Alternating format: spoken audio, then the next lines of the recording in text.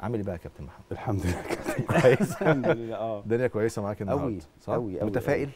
جدا. بس أنت لو بقيت متفائل أنا خلاص أنا تمام. آه أصل بص أنا قلت لك لو عدينا ساحل العاج كوت ديفوار لا هيبقى السكة إن شاء الله. وبعدين اللي كان مخاوفي من ماتش تونس وبوركينا لما تونس كسبت آه، نيجيريا. وعملت ماتش جامد فالتاني ماتش كانت. وحشة. فأنا كان مخاوفي إن المنتخب يلعب ماتش كوت ديفوار جامد طلع إن هو عمل المغرب أقوى أجمد. كمان. صح. آه. فالواحد آه، بصراحة متفائل وحاسس إن الاولاد آه، خلاص بقيت عارف أنت شد حيلهم والدنيا هتمشي إن شاء الله. صح. بالمناسبه بقى كابتن أمير على من كلام الكابتن محمد على المباراتين اللي لعبناهم ورا بعض بشكل كويس في حاجة كمان إيجابية جدا شفتها في البطولة دي إن دلوقتي أي لاعب بيغيب في البطولة دي تحديدا أنت مش قلقان. سلام وصلت للمرحلة اللي هي بتاعت إيه؟ مين التشكيل بكرة؟ أي حد. أي حد هيلعب كويس. فده نجاح للمدرب بكل تأكيد وطبعا لروح اللعيبة. رأيك إيه؟ أكيد يا كريم طبعا في البداية أنا برحب بيك وببقى سعيد أكون معاك طبعا. وكابتني و... حبيبي أمير. سواء كابتن. محمد هيبقى معانا لازم الحوار بيخش في الجد على طول. يعني ما فيش وقت للحب والترحيب لا لا لا آه لا. على. طول راح مدخلك هوب راح راميك على طول. النقطة اللي أنت كلمت أمير فيها دي ممتازة صح؟ هايل. وآخد ده رأيك فيه المنتخب. طب آه، كلم هاخد رأيك اتفضل فيها كابتن. بص يا كريم هو طبعا في البداية آه، كان في لغط كتير جدا على القايمة و- و- وفي ليه ما خدش فلان وليه ما. خدش فلان. وبعد كده هو آه، عمل حاجات كتيرة جدا فنيا إن هو ابتدى يلعب ناس في مش في مراكزها. في البداية خالص في التصفيات يعني في تصفيات ماتش ليبيا والماتشات دي كلها آه. كان طبعا كانت آه، آه، نقطة بعد الكابتن حسام البدري. والناس كلها اتكلمت على كيروش كويس جدا والجهاز الفني. وبعدين اتكلمنا كويس في حوالي ماتش أو ماتشين. وبعد كده جت الأمور ما ظبطتش في البطولة العربية. صح. لأن طبعا كان لكذا سبب. أول. سبب إنك أنت عندك النهارده ال- الناس اللي ما لعبتش في مراكزها. تاني حاجة أنت خدت لعيبة آه، مميزة كد- جدا. يا كابتن عبد الجليل في الدوري. وقدمت مستويات كويسة واحرجوك بمعنى آه، الكلمة. وبعد كده أنت ما خدتهمش في ال في ال في بطولة أفريقيا. فهو عمل كذا حاجة في بعض. بس معلش أحرجوني وأنا اللي مختارهم؟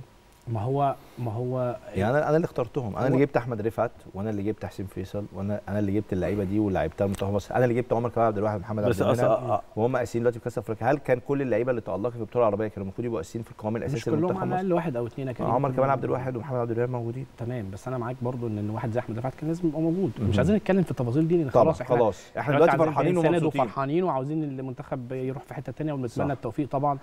آه، فبالنسبة لل- للكروش ال- بالنسبة لل للناس الاختيارات والكلام ده كله هو كان صاحب ال- القرار في الأول وفي الآخر حتى لو كانت في ناس بتنتقده يا كابتن عبد الجليل هو ليه رأي الرأي بتاع الناس أو النقاد أو الناس اللي كانوا بينتقدوه هو ساعدهم في ده. إن هو لاعب ناس في في مراكز غير مراكزها الناس آه، ظلم ناس معينة اللعيبة ابتدت كلهم كمجموعة واحدة كله اتلخبط.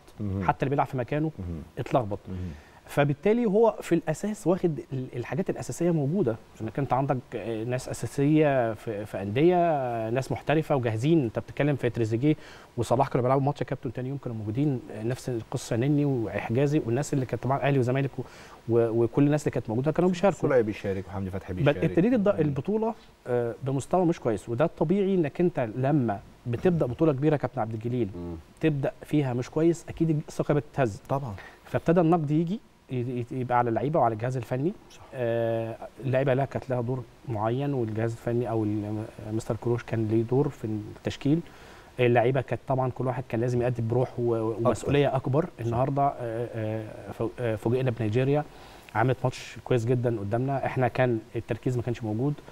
فبعد كده مع النقد مع الضغط طبيعي إنك أنت كلاعب كورة مش هتعرف تأدي كويس. ممكن تأدي بروح كويسة تأدي بتركيز كويس وده اللي إحنا شفناه في ماتش غينيا وشفناه بعد شوية مش هقول الأداء كان أحسن حاجة يا كابتن في الماتشين لكن انت ابتديت على الأقل تبقى مركز تلعب بهدوء شوية عديت حتة ال ال ال الضغط اللي عليك.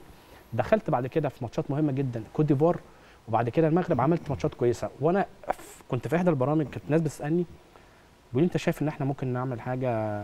وكان في ناس كتير جدا نجوم كبار يا كابتن كانوا بيتكلموا ويقول لك إحنا مش هنعمل حاجة في البطولة دي. فأنا كان ليا رأي تاني إن أنت النهارده ليه لأ؟ باسمك الكبير عندك سبع بطولات تاريخ كبير لعيبة مميزة عندك آه، آه، أحسن لعيب في العالم موجود عندك لعيبة محترفة في أندية كبيرة عندك ثقة كبيرة جدا آه باسم مصر. والمستوى متقارب في البطولة دي. بالظبط. يعني ما تلاقيش برضو منتخب كان فارق عنك كتير مفيش يا كريم. مفيش يا كريم الحاجات دي لأن أنت عندك الأس... الأسماء الكبيرة حتى النجوم اللعيبة الكبار ما ادوش بشكل كويس. صح. آه، آه، ضغط بتتكلم في كل واحد عليه مسؤولية كبيرة جدا في بلده بتتكلم في ملاعب بتتكلم في جو لأن إحنا لعبنا في الجو ده الجو صعب جدا في في الكاميرون. والملاعب وأجواء و و إلى آخره. ف آه، آه، جه بقى أنت بعد كده لما ابتديت تشارك وابتديت تلعب بتاخد ثقة مع اسمك. إحنا اسم كبير تاريخ كبير وعندك لعيبة مميزة. مع الماتشات دي ابتديت بقى خلاص في تركيز وأنا أتمنى إن شاء الله وده اللي ممكن يحصل بنسبة كبيرة إن اللعيبة بإذن الله بكرة هيأدوا بشكل كويس هيبقى في خطة متوازنة.